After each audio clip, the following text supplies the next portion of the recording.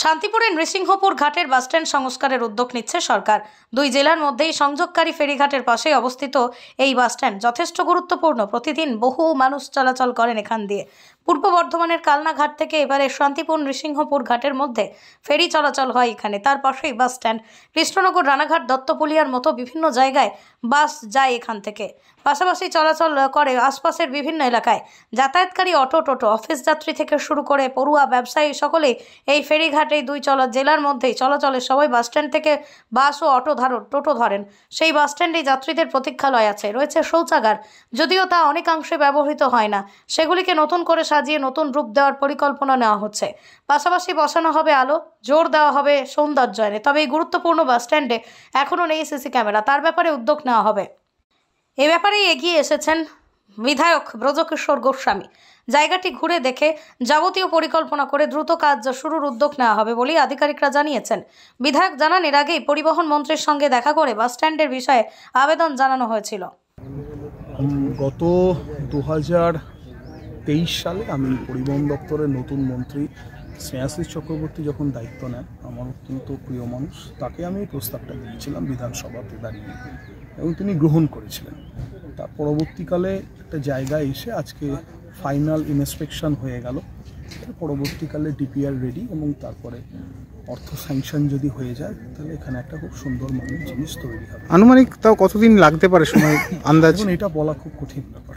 Land verification হয়েছে DM রিপোর্টে গেছে এরপরও কিছু সরকারি প্রসেস আছে। ড্রাইভার তো কত টাকা? ডিপিআর তৈরি হোক যতটা করলে সুন্দর হয় আমরা ততটাই কি কি থাকবে এবার এই এই নতুন বাস স্ট্যান্ডে বাস, অটো, টোটো তিনটের জন্য সেপারেট জায়গা। শেড একটা ক্যাফে এত সুন্দর একটা ভিউ রয়েছে। এবং সেই সাথে সাথে যারা যাত্রী, তাদের দাঁড়াবার জন্য জায়গা বাথরুম টয়লেট এগুলো হয়ে আছে কিন্তু ব্যবহার হয় না।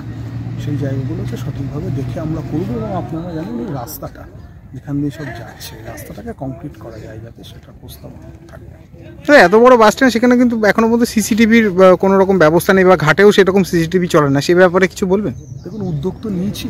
আপনি তো জানেন যে পুরনো শান্তিপুরের যে স্থায়ী সম্পত্তিগুলো ছিল সেগুলোকে রিনোভেশন করার ব্যাপারে আমি বিরাটভাবে উদ্যোগ নিয়েছি। পশু হসপিটাল গার্ডেন কানলাঘাটের এই বাস স্ট্যান্ড বিভিন্ন মন্দির যেগুলো ভবিষ্যতে প্রজন্মের পর প্রজন্ম থেকে যাবে। বিধায়ক আসবে বিধায়ক যাবে পঞ্চায়েত আসবে পঞ্চায়েত যাবে কিন্তু এগুলো থেকে যাবে। ইন্সপেকশন এসছে? সম্পূর্ণরূপে কলকাতা থেকে আধিকারিকরা এসছে ট্রান্সপোর্ট ডিপার্টমেন্টের এমএলএ সাহেবের রেসপেক্ট যে উনি প্রপোজাল দিয়েছেন খুবই ভালো প্রপোজাল আমরা এগুলো দেখে গেলাম রিপোর্ট আমরা সাবমিট করব। কত টাকা ব্যয়বহুল রয়েছে? এটা- এখন বলা যাবে না। দেখতে আইটেমগুলো দেখে নিলে বলা যাবে কোটি টাকার উপরে হতে পারে মেবি সৌন্দর্যনে কি কি করা হবে? অনেক লাইটিং দরকার তারপর পেভমেন্টগুলো করার দরকার কিছু রেনোভেশন করার দরকার। এটা গুরুত্বপূর্ণ একটা জলপথ সেখান থেকে কিন্তু বর্ধমান এবং হুগলিতে। করা আনু আপনার নাম? সাধারণত বড়ুয়া। কোন ডেজিগনেশন আপনার? সুপারিনটেন্ডিং ইঞ্জিনিয়ার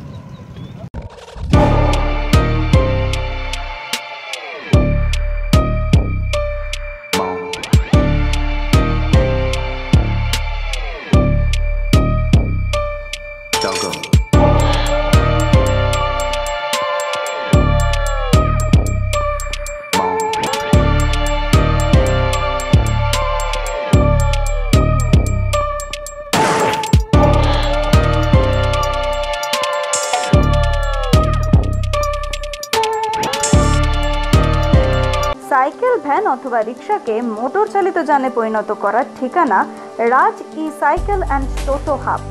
সঙ্গে রয়েছে টোটো সার্ভিসিং এর ব্যবস্থা। পাশাপাশি সুলভ মূল্যে পাওয়া যায় দা বটি, কোদালের মতো বিভিন্ন লোহার প্রয়োজনীয় দ্রব্য।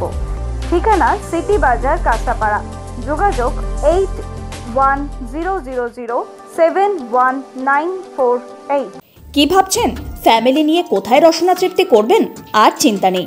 রসনা তৃপ্তির সেরা ঠিকানা হোটেল ইউটিউব যেখানে রয়েছে ফ্যামিলি রুপটপ রেস্টুরেন্ট। সঙ্গে থাকছে মাল্টি কুইজিন রেস্টুরেন্ট। পুল পার্টির সুবন্দোবস্ত রয়েছে ইউটিউবে এছাড়াও যে কোনো সামাজিক অনুষ্ঠান, যেমন বিবাহ, জন্মদিন এবং অন্যান্য অনুষ্ঠান করারও সুবন্দোবস্ত রয়েছে। তাই আর দেরি না করে আজই চলে আসুন ইউটিউবে আমাদের ঠিকানা কল্যাণী এক্সপ্রেসওয়ে, কাঁচরাপাড়া, কাঁপা মোড় সংলগ্ন ইউটিউব হোটেল অ্যান্ড রেস্টুরেন্ট।